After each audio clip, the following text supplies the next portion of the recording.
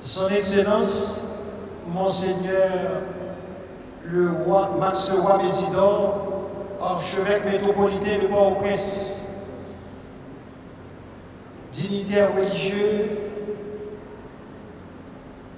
chers confrères dans le sacerdoce, honorable maître Marie-Suzy Gros, bâtonnier AI, chers membres du conseil du barreau, distingués avocates et avocats du barreau de Port-au-Prince, chers amis de la Fédération des barreaux d'Haïti, éminents membres de la coopération internationale des juristes, illustres délégués des autres corporations juridiques, chers amis éplorés de la Basoche, frères et sœurs bien-aimés, mesdames, messieurs, nous sommes ici rassemblés ce matin dans l'enceinte sacrée de l'église Saint-Pierre de Pétionville, devenue en cette circonstance comme le temple de Thémis.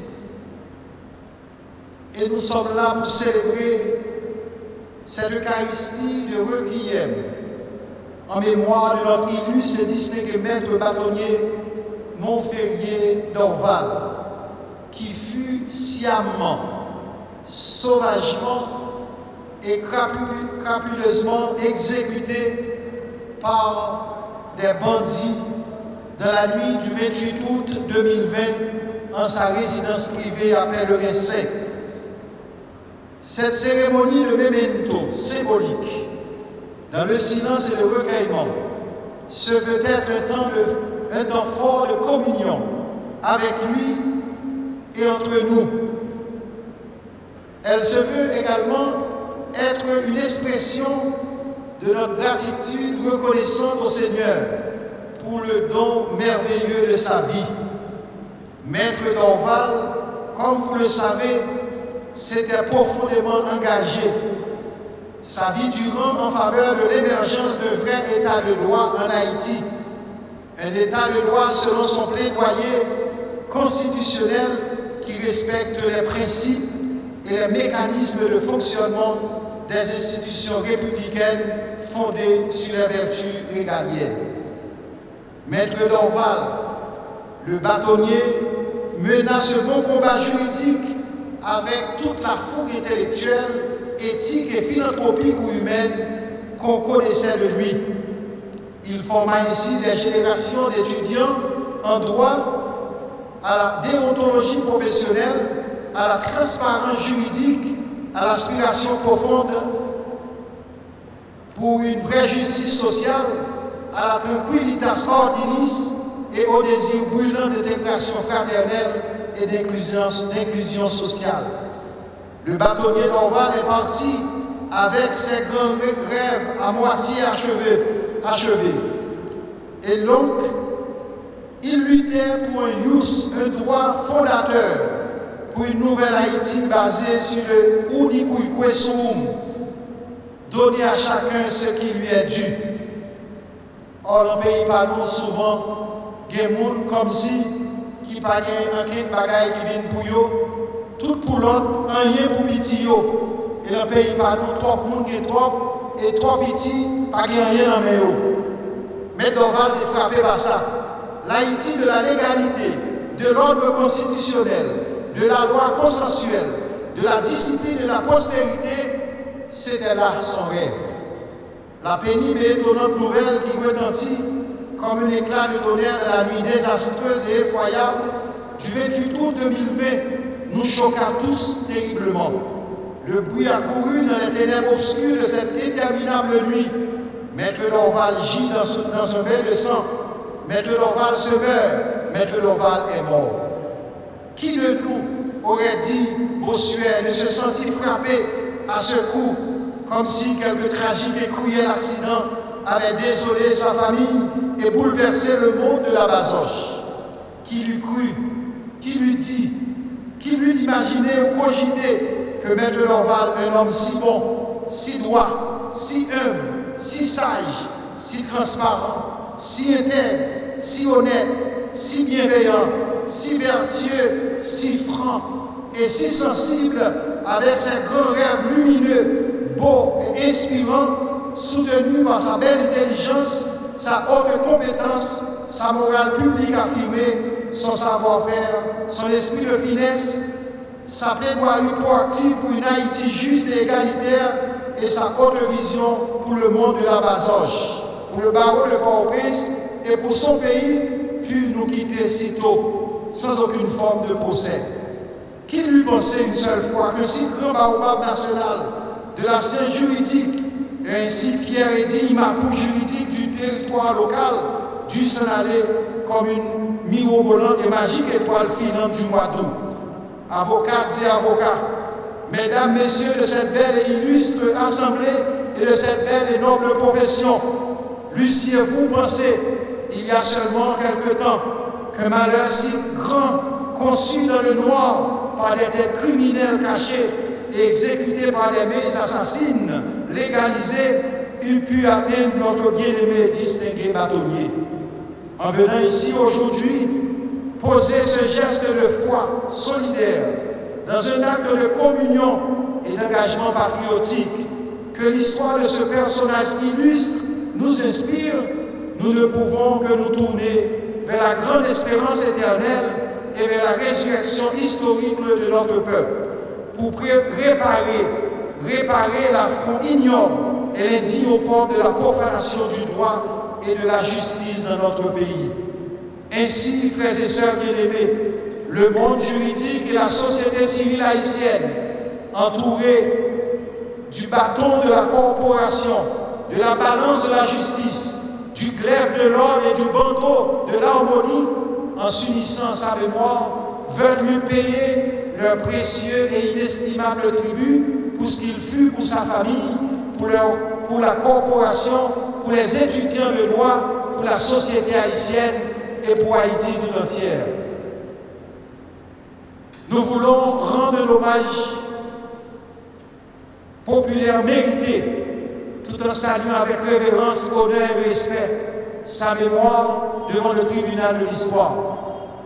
Nous voulons, selon notre tradition, confier son âme déjà tournée vers l'Orient à la miséricorde du Dieu Tout-Puissant, de manière à ce que son beau et précieux héritage spirituel et juridique et philanthropique soit ciselé pour toujours sur les pierres immortelles et que son grand et riche trésor de connaissances juridiques soit à jamais gravé dans les profondeurs de nos cœurs. Aussi reprenons-nous avec confiance et espérance les paroles de consolation que nous avons écoutées dans la lecture de l'Évangile, de la proclamation de l'Évangile. Seigneur, si tu avais été là, notre frère ne serait pas mort. Mais aussi pouvons-nous reprendre cette autre parole émouvante et percutante du Saint Pape Paul VI à la mort tragique et violente de son ami Aldo Moro à Rome, tué par les brigades rouges, quand il disait Ô Seigneur, nous t'avons prié, mais pourtant toi, tu ne nous as pas écoutés. Tu n'as pas exaucé nos humbles suppliques. Ce matin, c'est le monde des avocats, le monde de la basoche, c'est notre peuple, pauvre et menti, crucifié dans son histoire, qui crie devant toi. Et tu as promis dans le psaume qu'un pauvre a crié et Dieu l'écoute. De son visage, il n'y aura plus d'amertume. Nous constatons, Seigneur, qu'il y a trop de morts gratuites dans notre pays trop de victimes innocentes, trop de terreur et de crimes odieux, trop d'abominations sauvages et de destructions absurdes. Et ça fait trop longtemps que cela dure. Il est temps, aurait dit Jean-Paul Dominique, que cela cesse. Pour que ce peuple ait la vie, il est temps d'arrêter pour nous, Seigneur, de nous inspirer comment arrêter sa souffrance lugubre et interminable cette tuerie macabre et insupportable. Jusque à quand devons-nous laisser couler le sang de tes enfants sans arrêter ces et criminels Jusque à quand devons-nous continuer à pleurer nos morts sans contempler le nouveau prétend d'une nouvelle Haïti? Aujourd'hui, pendant que nous te demandons où es-tu, ô Dieu, tu nous réponds par l'écrivain Élie Vissel dans son livre Dinah la nuit. Je suis là, dit Dieu, dans ce grand homme de droit et de grande stature, fauché et assassiné à cause de son intégrité et de son amour patriotique. Je suis présent dans ces pauvres innocents laissés seuls et abandonnés dans les ghettos de violence. Je suis là dans cette femme blessée, humiliée et réprimée dans ce beau paradis des Antilles transformé en enfer parce qu'on a crucifié l'amour. Je suis là dans ce vieillard oublié et crucifié dans son histoire. Quand vous-même un jour, vous déciderez vraiment de changer les choses et de regarder vers l'avenir comme le voulait Maître Norval, alors vous allez découvrir que c'est moi, c'était moi qui souffrais de les victimes innocentes. J'ai paraphrasé M. Elie Vissel. Frères et sœurs bien-aimés, mesdames, messieurs, j'ai entendu des cris à Rama, dit le prophète Jérémie, des lamentations et des pleurs, des larmes amères et des complaintes qui montent vers le ciel. C'est Rachel qui pleure ses enfants et ne veut pas être consolée parce que ses enfants ne sont plus. Jérémie chapitre 31 verset 15, Matthieu 2 verset 18. La consolation de toutes les mamans, particulièrement des mamans d'Haïti, comme Rachel, comme celle de Rachel, vient de Dieu qui, comme une mère, pleure la mort et la souffrance de ses enfants. Cette consolation vient de Jésus qui pleure la mort de Lazare, son ami, et qui pousse un gémissement pour appeler Lazare à sortir du tombeau, pour appeler Lazare à la résurrection. Cette consolation vient de la foule qui marche pour venir réconforter Marthe et Marie et demander la résurrection pour Lazare. Cette consolation également vient de l'Église entre mères qui embrasse les complets de ses enfants aujourd'hui en Haïti pour pleurer avec eux, les consoler, les accompagner, mais aussi leur montrer le chemin de la résurrection historique. Dieu le consolateur vient vers nous pour apaiser nos douleurs et nous rendre forts. Jésus en pleurant devant le tambour de Lazare participa à la douleur de ses amis et partagea leur souffrance et leur déboire. Les larmes de Jésus sont des larmes d'amour et de tendresse, des larmes de consolation et de purification. Oui, ce sont des larmes de rédemption, de rachat. C'est aussi l'antidote de guérison et de libération le plus efficace comme l'insouciance, contre l'insouciance et l'irresponsabilité. Jésus a montré que dans la lutte contre le mal, nous ne sommes jamais seuls et que nous pouvons compter sur le réconfort de Dieu, sur sa consolation solidaire. Si Dieu a pleuré sur la mort d'un homme, nous aussi nous pouvons et nous devons pleurer sur la mort de ce grand frère. Nous pouvons lutter pour que la cruauté, la brutalité qui font souffrir cessent. Et alors nous pouvons nous engager sérieusement pour ceux qui sont partis sans le vouloir. Nous pouvons découvrir que nous sommes les gardiens de nos frères et sœurs. Nous pouvons entrer dans une nouvelle forme de solidarité, être conscients que nous sommes responsables les uns des autres. One for all, all for one. Un pour tous et tous pour un. Dieu en aujourd'hui avec la corporation juridique et avec le peuple haïtien en souffrance, nous promet d'être à nos côtés et d'être toujours avec nous. Dieu ne se contente pas de pleurer, mais en tant que résurrection et vie, il soulève l'espérance de la résurrection de Lazare comme signe de vie nouvelle. Dieu a signé donc un pacte d'alliance, un pacte de vie, un pacte d'amour avec son peuple crucifié. Si Dieu pleure ici et maintenant avec son peuple, largué de la nature, c'est pour demander à ce peuple de se mettre debout pour marcher vers la résurrection. Notre frère et ami, le maître docteur Montferrier Norval, avait 64 ans. Il était le digne fils du terroir de la grande saline de l'Artibonite.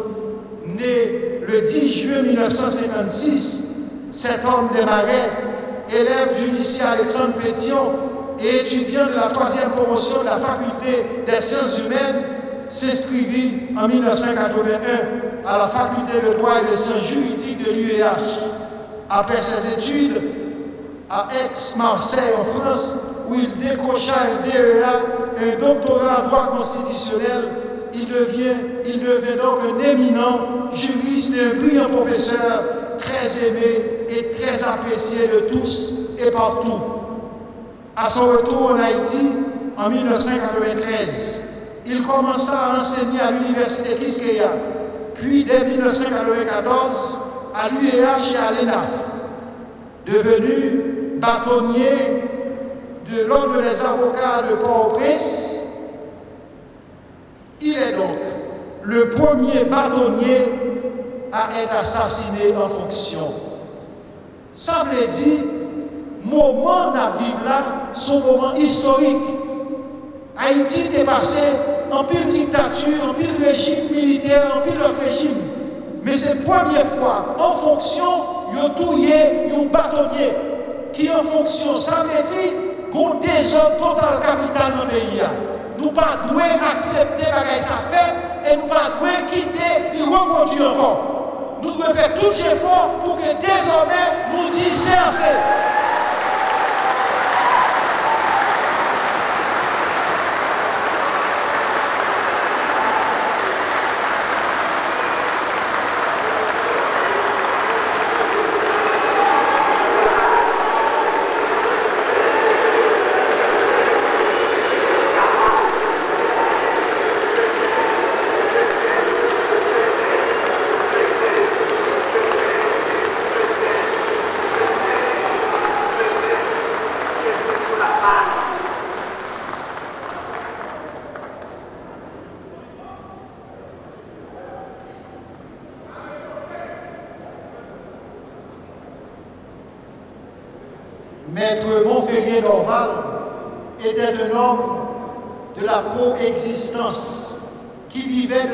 Passionnée son amour pour le droit et il aimait partager ses connaissances pour susciter la vie pour les autres. Maître d'Orval ne vivait pas pour lui-même, mais pour son pays qu'il aimait tant et pour lequel il avait de grands rêves. Maître d'Orval est donc un homme sacrifié qui a servi la nation, qui a servi la patrie jusqu'au bout, en contemplant comme Moïse la terre promise de l'autre bout de la rivière. Mais nous dit M. Dorval, il pour nous rêve réalisé, parce que l'on rêvait pour tout, rêve là, qui sont chimères, en l'air, mais l'on rêvait à l'autre rêve là prend forme, il est capable de réaliser. Et nous jour pour aujourd'hui, mettre Dorval, côté il y a pour que Haïti est pour mettre le bout encore.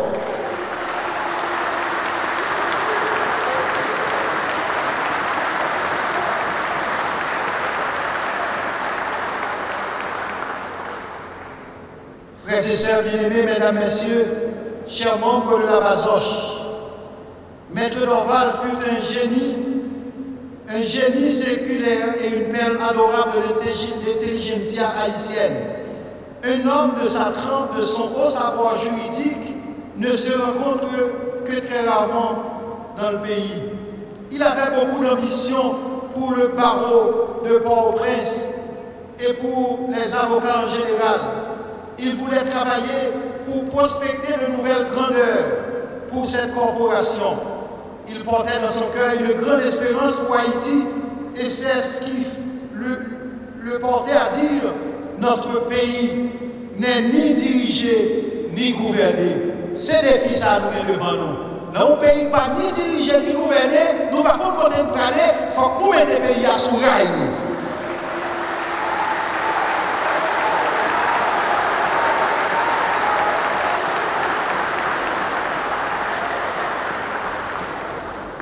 Maître Dorval avait compris la grande tentation de certains de plonger Haïti dans le chaos, dans la non-gouvernance, dans l'anarchie et dans un vide institutionnel de manière à diriger selon leurs caprices et leurs dictats. sans un minimum de consensus, sans aucun autre contre-pouvoir capable d'arrêter les dérives, sans aucune procédure de justification et de vérification des décisions prises en privé, sans respect des règles et des normes des institutions autonomes, sans aucune évaluation des mécanismes d'alternance politique, sans aucune attention à la Constitution ni aux lois. Maître Lorval, ce professeur de droit, est un homme juste.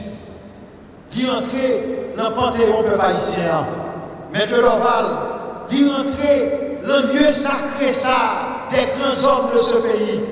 Maître Lorval ne voulait pas que son pays tourne le dos à l'état de droit pour devenir un état anarcho-populiste, hypothéquant ainsi les acquis démocratiques des générations qui se sont battues pour la conquête des droits humains et des libertés individuelles en Haïti. Frère Maxime,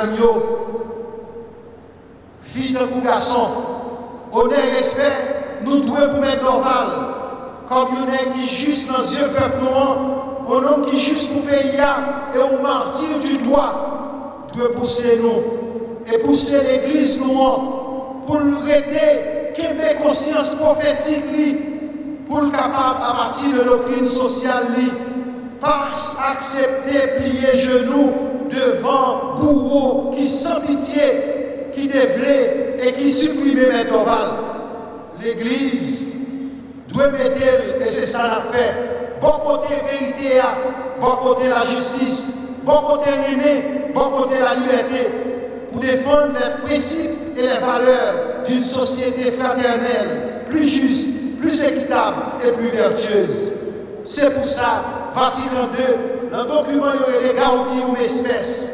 Dis-nous, l'Église doit porter souffrance, misère, caca, toute calamité peuple L'Église doit dénoncer mal qui empêchait, eh bien, plan, aimer mon Dieu, river pour peuple là, il doit annoncer la bonne nouvelle, capoter cœur content libération pour peuple et en même temps tout, il doit participer dans la construction de la Civitas Homini qui doit inspirer de la Civitas Dei, Jean-Saint Augustin dit, qui a fait que nous baillons une cité qui est basée sur l'amour, l'amour vrai, pas l'amour propre, côté où nous sortis pour prendre tout le bagage pour vous, pour craser tout le bagage, pour détruire toute institution et pour faire parler de ça, faire parler de vous-même seulement.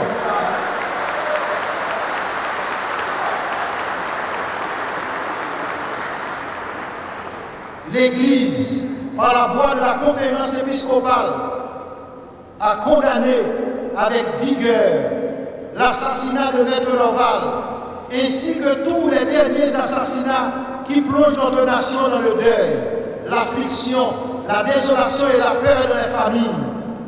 La note de la conférence épiscopale. L'Église ne peut pas accepter que les assassinats, les exodes éternes, la destruction du bien commun devienne le quotidien de la population qui vit déjà sous le choc, le traumatisme, la colère, l'indignation, la révolte et l'inquiétude. L'Église demande d'arrêter le robinet de sang qui inonde et arrose notre cité, la conduisant vers la Bible du néant. Du néant. L'Église demande de fermer le robinet sang et tout le monde veut camper pour faire ça.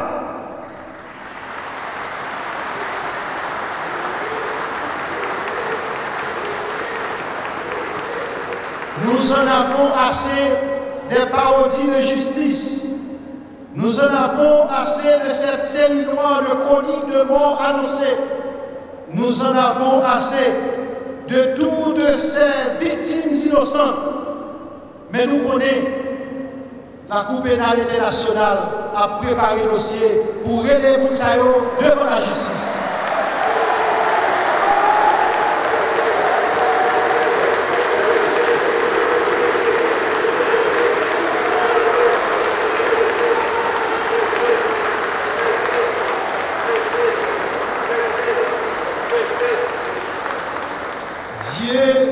Dieu pleure et son cœur saigne. Le rêve de nos pères est souillé.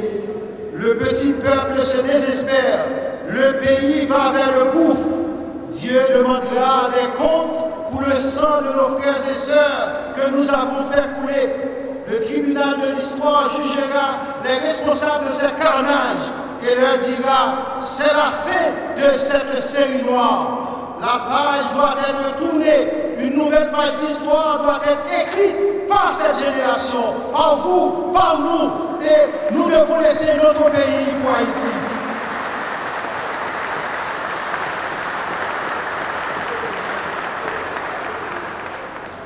Nous n'accepterons jamais que des crimes contre l'humanité ni des génocides soient commis sur le sol sacré de nos ancêtres. C'est une atteinte grave, disent les évêques, et extrême à la vie, à la justice, au droit, à la paix, à la convivialité sociale et au vivre ensemble, de tolérer que se reproduisent ces agissements sans rien faire. Nous protestons, continuent les évêques, de toutes nos forces contre cette insécurité endémique des gangs armés qui gangrènent le pays. Et nous devons dire non à cette culture de mort, à cette violence mortifière, à la terreur des gangs et à la guerre par morceaux dans les ghettos. Nous devons dire non à la mort, oui à la vie. L'Église ne peut pas se taire devant ces atteintes terribles aux droits humains et à la dignité de la personne humaine. Matin, les ma vie là, vie célébrer. Je vous dire, attention, Parce que de temps en temps, teke, pas teke encore. Tant que mal a existé, nous devons continuer à teke.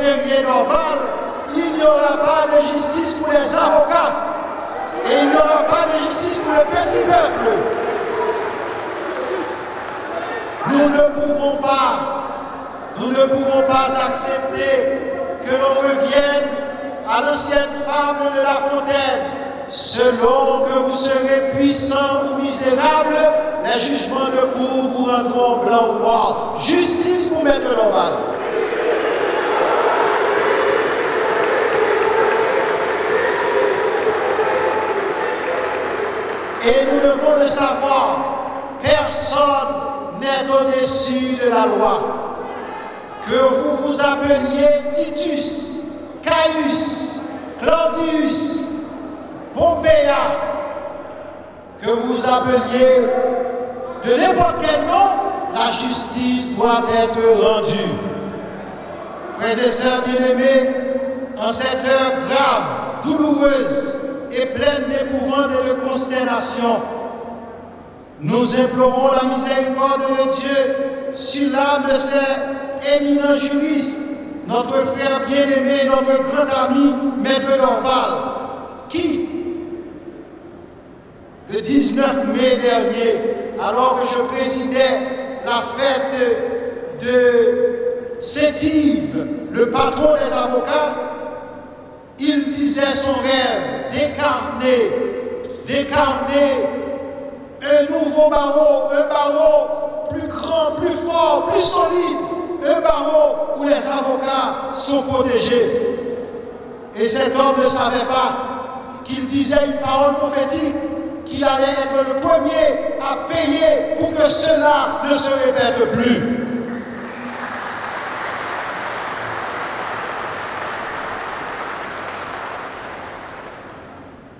Le texte de l'évangile de Jean nous dit que si nous croyons, nous verrons la gloire de Dieu. La gloire de Dieu nous dit, c'est Irénée le lion, c'est l'homme vivant, l'homme debout, ressuscité. Si vous voulez voir la gloire pour Dieu manifestée, pour mettre Norval, cet homme glorieux et illustre, c'est que nous rentrons dans le processus processus de résurrection, de mettre nous debout et de préparer résurrection historique pour Haïti.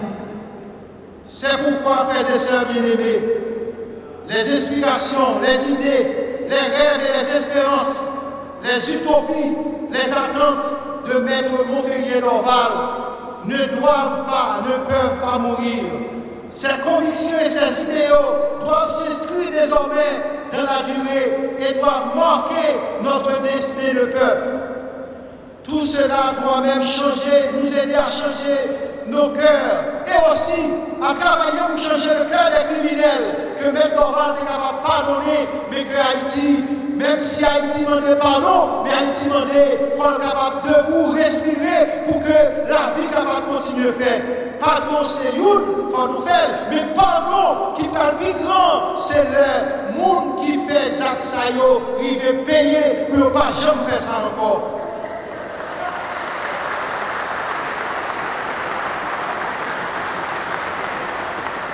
Que la mort de notre cher maître Norval nous permet d'exorciser cette malédiction historique qui nous plonge dans les contradictions, qui nous divise, nous ruine et désagrège notre pays.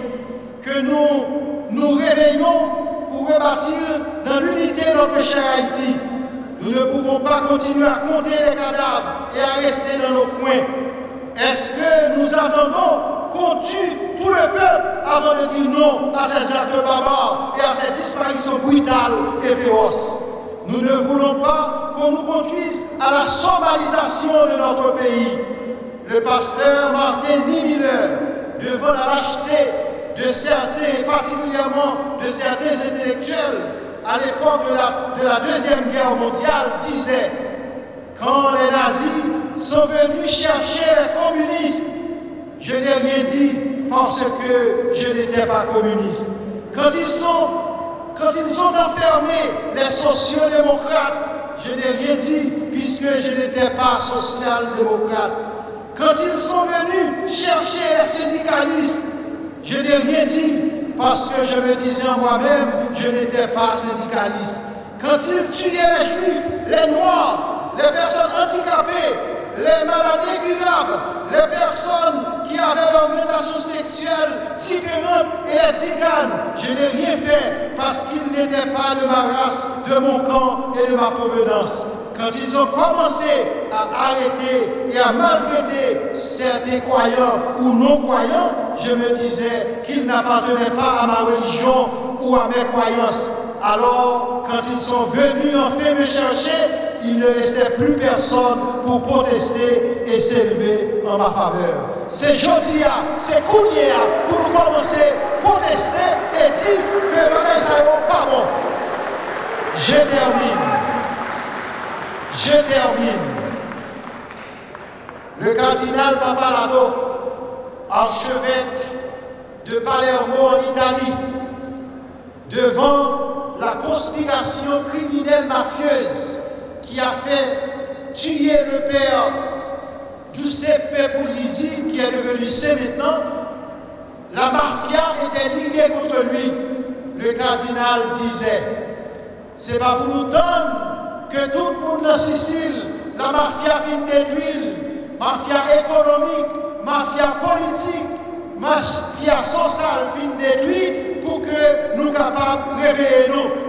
cardinal Paparado te dit, you monde qui paye, déjà, ça suffit. Pas quitter, c'est tout le monde qui paye pris ça. Nous ne pouvons pas accepter de devenir les complices du mal. C'est pourquoi il faut un complot des gens de bien pour sauver Haïti. Nous devons assumer nos responsabilités pour construire l'histoire différemment, car, disait Maître Montferrier Norval, une autre Haïti, une Haïti différente est possible. Nous ne pouvons pas accepter que le mal nous dicte ses lois, ses règles, ses orientations et ses caprices.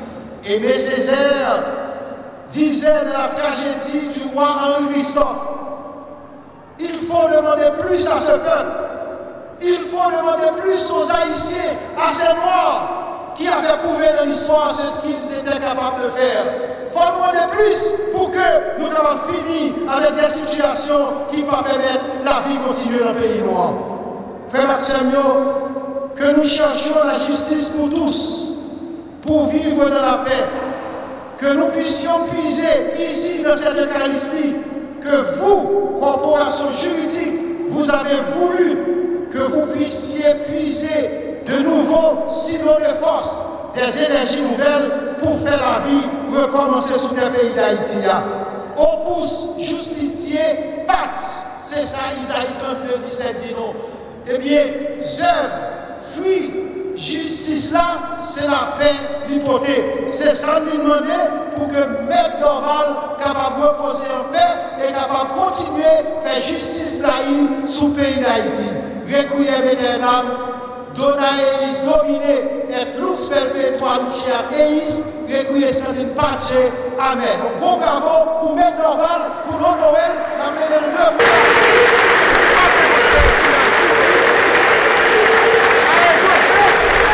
Attention, Justice